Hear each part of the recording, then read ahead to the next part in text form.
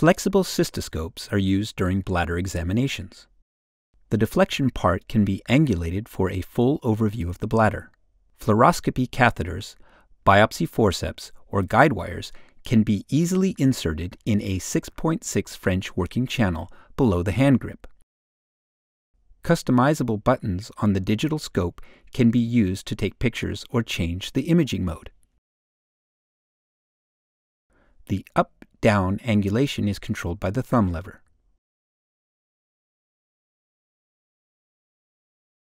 Accessories are used for biopsies in the areas of suspicion or for stent removal. The direction of view is 0 degrees. Pressing the lever down results in upward deflection and vice versa.